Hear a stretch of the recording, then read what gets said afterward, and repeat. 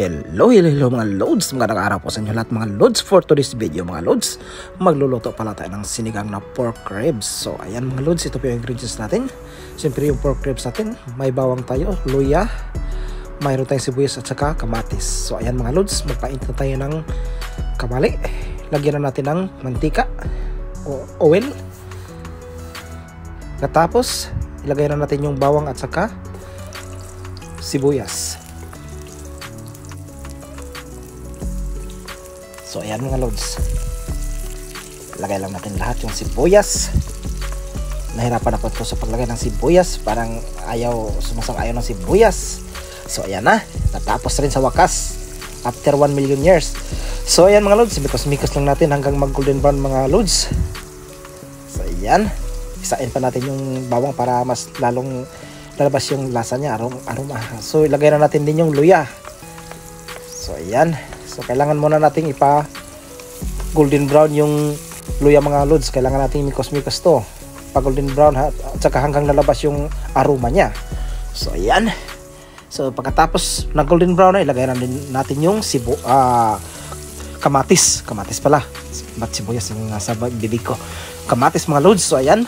Nandiyan po kamatis. Mikos-mikos lang mga lods. Mga insan mikos-mikos ang kamatis natin. So isunod na naman natin yung pork ribs natin mga lods. So ayan, yung pork ribs natin mga lods, napakasarap nito. So ayan.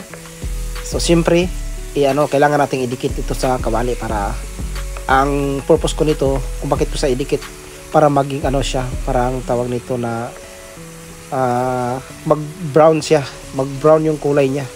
So, after a few minutes, mga lods, so ayan, nag, nag golden brown na po yung karne natin. So, baliktarin na naman natin. Kailangan yung ibang side na naman ang ilapat natin sa kawali para mag golden brown din yung ibang side.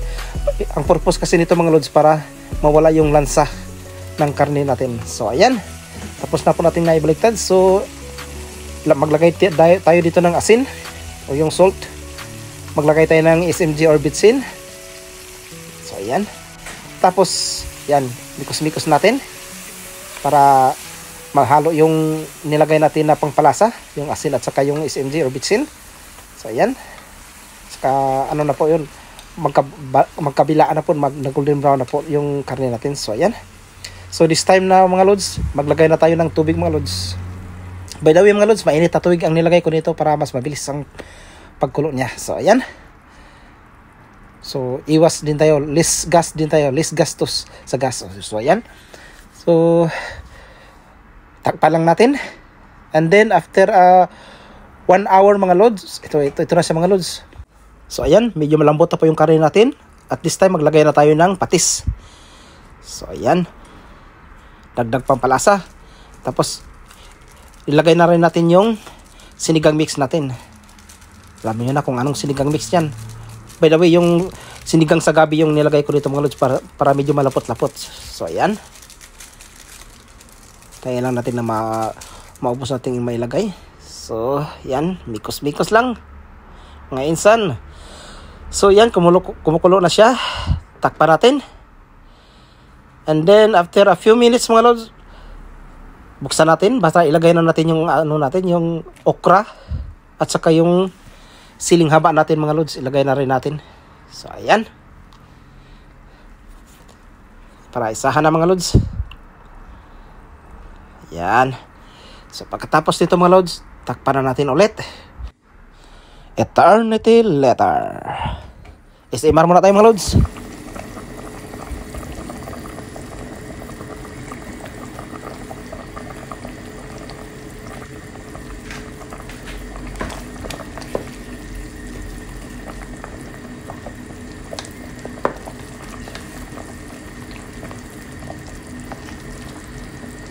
So, ayan mga loads, pwede na natin ilagay yung ano natin, yung last na ingredients natin.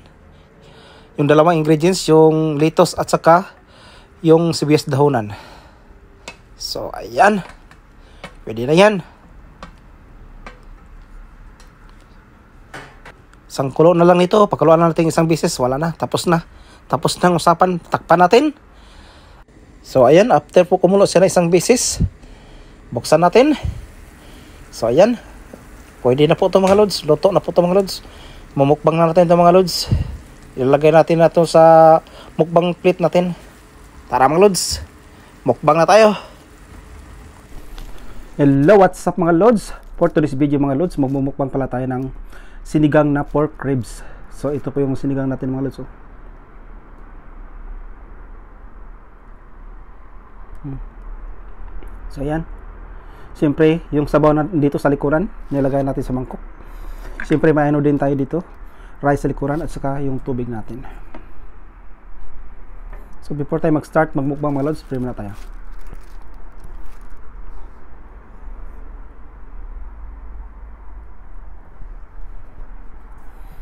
Okay, start na po tayo mga lods. Siyempre, unahan natin sabaw.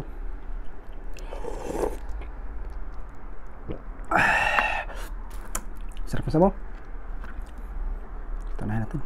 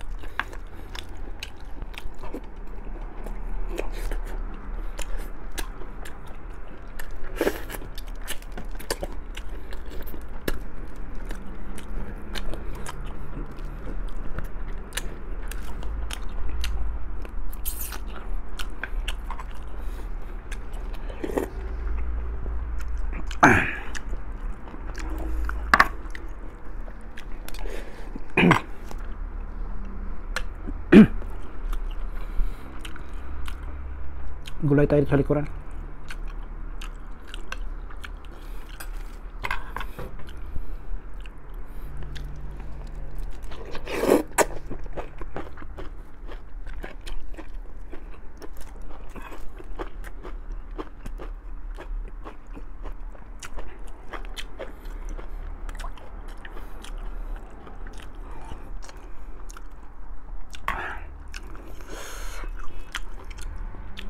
likuran. Eh, ukuran.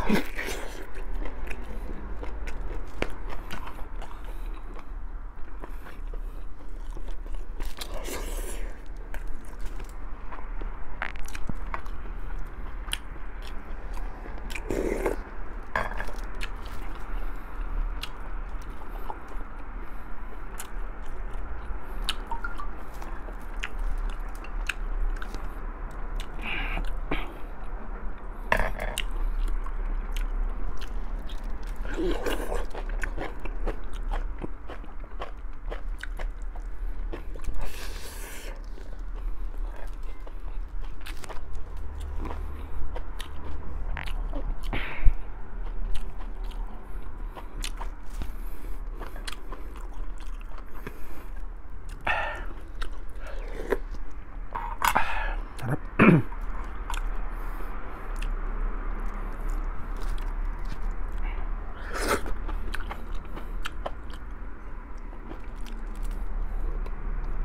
Yung taba sa pork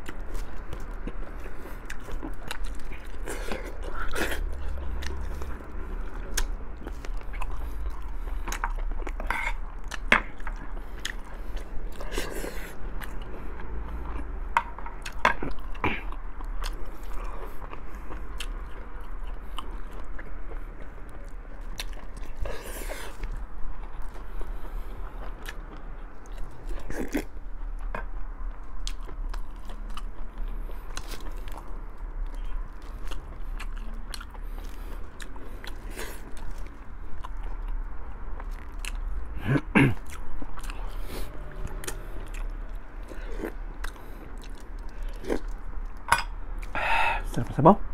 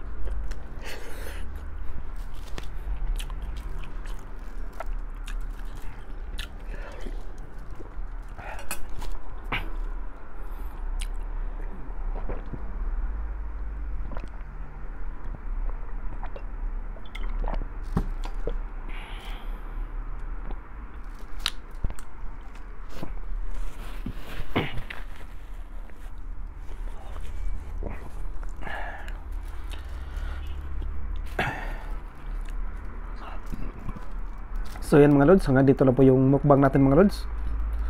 Maraming salamat pala sa walang sawang panonood nyo sa mga video ko. At sana po ay suportahan nyo po ko hanggang sa dulo mga lods. Maraming salamat po ulit mga lods sa inyo. So see you on my next mukbang or video mga lods. Babo mga lods.